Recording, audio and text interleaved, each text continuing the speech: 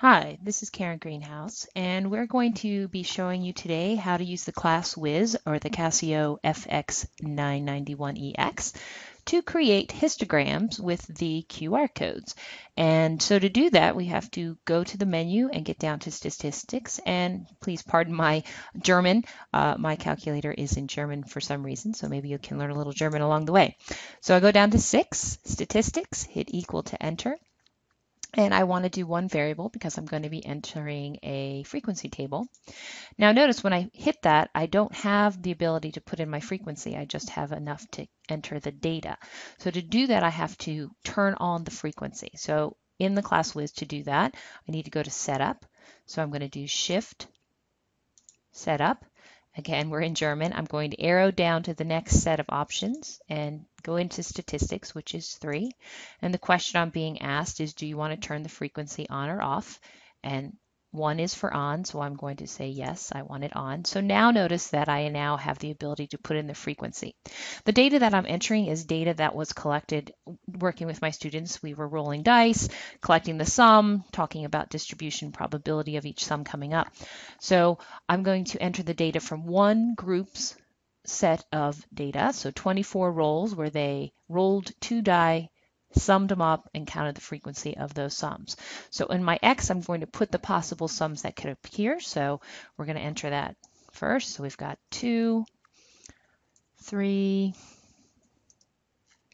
four, five. So these are just all the possible sums that you can get when you roll a set of die, two die. So the highest we can go is 12. Now notice my frequency automatically sets itself to 1. I'm just going to go back up to the top here. I'm going to enter what this one particular group's frequency was. Um, you know, let's say I have 15 groups in the class. I'm just going to choose one to randomly work with. So this group had um, some data, some that did not actually get any turns. For example, 8 had no possibility to show up. So this is this one group's set of data. And so I'm now going to visually show this on the internet. The thing with the ClassWiz is it has the ability to create a QR code, which you, if you're a teacher and have the emulator, you can immediately click on and get into the internet and show the visual of this data. If you have the ability to use smartphones or iPad apps, you can um, do it from your smartphone. There's an app that allows you to to read the QR code and create the web link. Well, since we're in the emulator, we're going to go to the QR code directly here. So to get the QR code for the set of data, QR is above option. I'm going to hit Shift, QR, and you'll see in the emulator it shows up in the calculator. This is what you would scan if you had, say, your smartphone and the app. But since I'm in the emulator, I get this second little button that I simply click and it immediately takes me to the internet. So this is great if you're a teacher, you can visually show it very quickly. So here's this group of data from my students. Notice that the um, graph is showing decimal values, and I don't like that. So because we turned the frequency on, we're now going to be able to adjust the setting of my histogram by clicking the setting bar.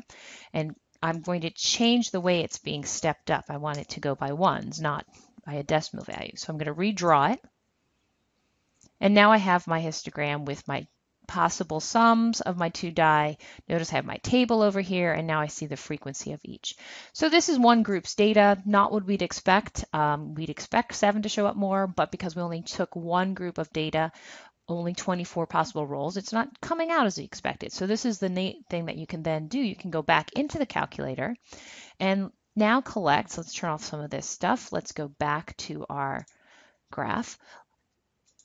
I only looked at one set of data. So when you're working with students, you want to say, well, maybe we need more data. So then you could collect every group in the group in the room. So now we're going to do the frequency of all group, and I've already done this ahead of time.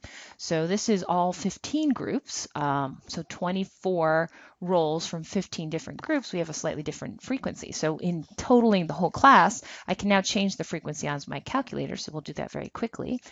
Um, and you'll notice we have a lot more possibilities and each one actually showed up this time instead of any that did not appear.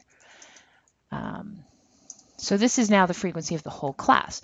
So now when I hit the QR code, which we're going to do again, Shift, Option gets you that QR code. Again, you can scan it with the app if you have a smartphone, or you can click it on the emulator simply by clicking the button, and we get a new histogram.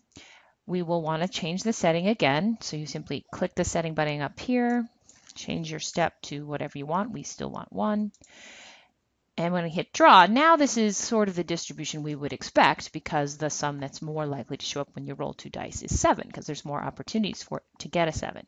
And the nice thing is because I did um, both of these close to each other, I have two tabs so I can see my one group's data by clicking the first tab and I can then click to the second tab and see the difference. And that's a great discussion to have with your students because they can compare their graphs to the class set and we can talk about what's different, what why did it show up this way, etc.